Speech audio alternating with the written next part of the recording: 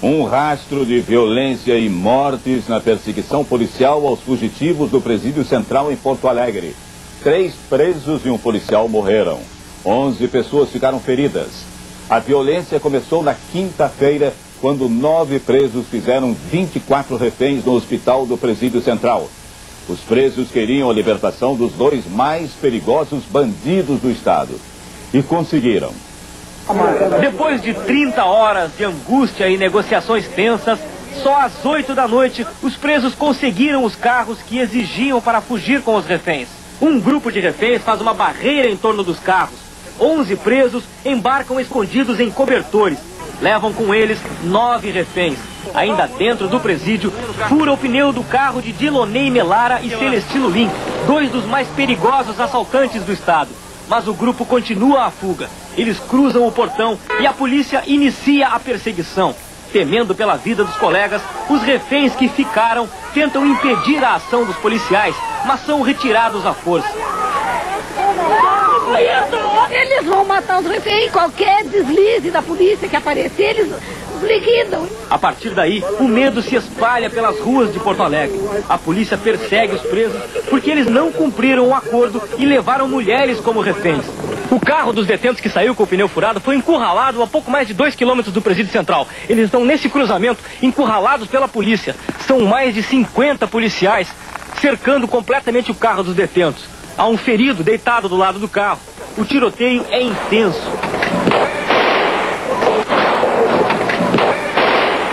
O ferido no chão é o diretor do hospital penitenciário. Ele foi baleado nas costas. Um policial ferido foi retirado por uma ambulância e morreu pouco depois. Mesmo cercados, Melara e Lin não admitiam se render. Ameaçando matar as reféns, exigiam outro carro. A polícia requisitou um carro da RBS TV para os fugitivos. Eles embarcam, levando as reféns. Aqui, ficar aqui. Pelo amor de Deus, cabeça. Pouco depois, eles param o carro no Parque da Redenção, no centro da cidade, e são novamente cercados pela polícia. É um dos momentos mais dramáticos da perseguição. Melara e Lin abandonam o carro e entram no outro cedido pelos policiais.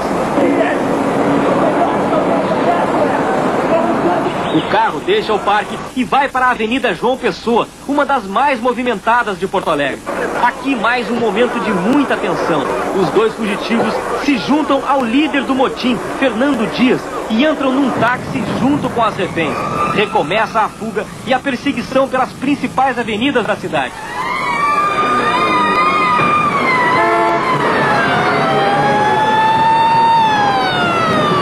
Um revólver apontado para a cabeça do motorista do táxi, os fugitivos invadem com o carro o saguão do mais luxuoso hotel de Porto Alegre. Veja o momento em que Melara e Celestino entram na recepção do hotel, mantendo as armas apontadas para a cabeça das reféns.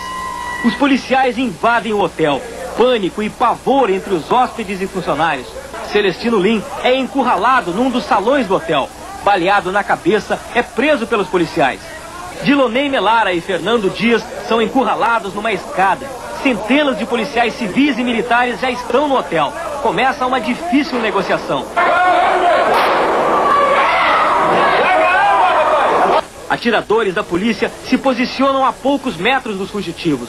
A polícia tenta negociar, mas eles não se entregam. Na madrugada, por diversas vezes, os dois atiram contra os policiais.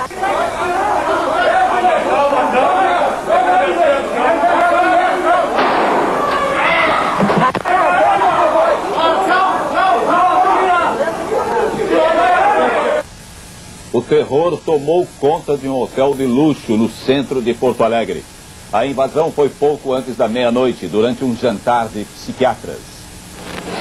Um táxi arrebenta as portas do mais luxuoso hotel de Porto Alegre e estaciona no saguão em cima do tapete vermelho. Foram 14 horas de terror num Plaza San Rafael. Nas primeiras horas da madrugada, policiais armados se misturavam com os hóspedes atônitos e tomavam todas as saídas. Nesta sala, no primeiro andar do prédio, os dois líderes da fuga, Dilonei Melara e Fernando Dias, foram encurralados. O assaltante de bancos, Fernando Dias, aparece na janela com uma refém. Aqui, os fugitivos capturaram uma terceira refém, uma funcionária do hotel. Ao amanhecer, atiradores da polícia foram posicionados em pontos estratégicos. Todas as ruas de acesso foram isoladas. A qualquer momento, poderia ser dada a ordem para invadir a sala. Os hóspedes tiveram que deixar o prédio às pressas. Os bombeiros também foram chamados. A tensão só começou a diminuir no início da tarde, quando os fugitivos esgotados concordaram em negociar. A polícia se preparou para a rendição. Aqui na entrada do hotel foi montado um forte esquema de segurança para aguardar a saída dos dois presidiários.